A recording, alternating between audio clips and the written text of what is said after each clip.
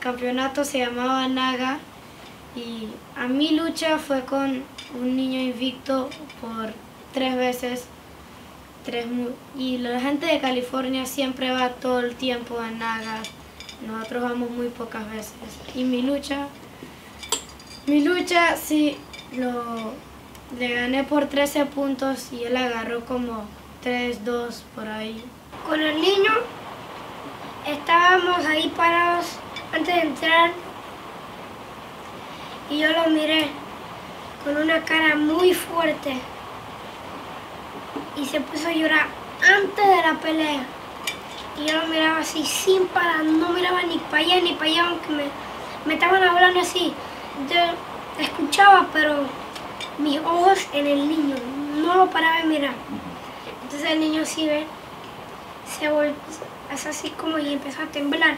Y es así, y no me quería mirar porque me tenía mucho miedo. Entonces se volteó y abraza al profesor.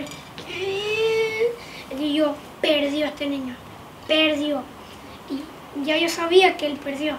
Entonces, antes de entrar al mat, cuando hablas así, ya, cuando mira para abajo, perdió. Entonces entramos al mar. Yo me paro así, lo miro. Entonces, ¡pam! Empezó la pelea. ¡Puf! Lo tumbo. Le, como le paso la guardia y como me quedo así y como le busqué como... Busqué la barra de una vez para tapiarlo y ganar de una vez.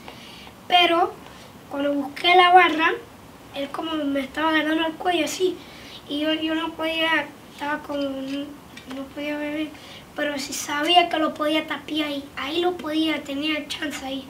Entonces, de la nada, uff, me agarra ahí, me hace un swipcito chiquitito y me agarra ahí y tenía miedo, entonces no quiso pelear, el niño no quiso pelear y se, me agarró ahí y por el miedo me agarró y se quedó ahí toda la pelea en vez de pelear como un hombre.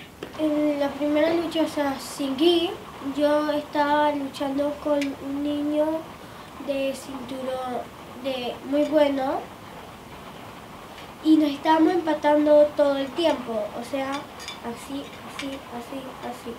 Pero después al final él me ganó por, por dos puntos por haberme volteado.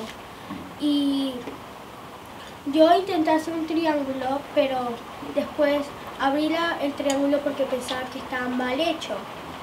Y entonces se escapó y me pasó en la guardia haciendo cuatro puntos más y yo lo. El Jiu-Jitsu para mí significa una clase de arte marcial que como te da mucha confianza y muchas técnicas.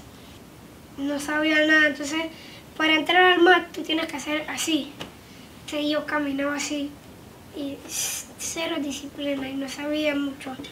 Entonces me portaba muy mal, corría por todo el mal. Uh, uh, uh. Y el profesor es tough. Y yo dije, ¡para! Y yo, sí señor. De vez en cuando, a veces como muy poco. Hoy me comí un par de donuts. Pero eso no pasa tanto como muy pocas veces, pero la comida saludable es carne, vegetales. Yo creo que desde que comencé Jiu-Jitsu yo me he estado portando mejor en mi casa y también en la escuela. También que apoyo más a mis amigos para que tengan mejores cosas en lo que hacen. Enseña mucha disciplina y también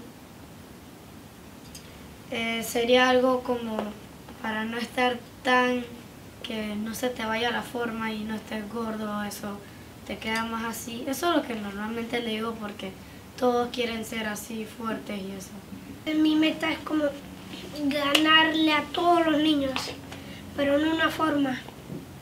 Va a ser la misma cosa todo el tiempo, pero cuando, cuando llegamos a la casa, primero vamos a descansar después volvemos a enfocarnos. Entonces voy a entrenar tan duro los takedowns y a meterme en la cabeza lo que voy a hacer. Entonces yo le voy a decir, antes de la pelea yo le voy a decir lo que voy a hacer. te voy, a tratar de tumbarte esto, esto, esto.